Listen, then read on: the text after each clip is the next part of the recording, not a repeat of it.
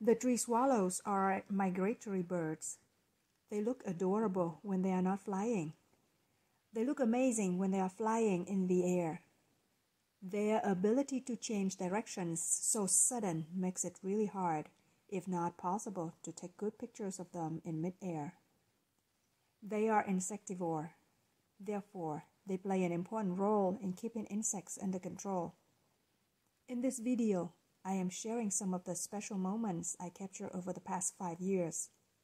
Hope you enjoy.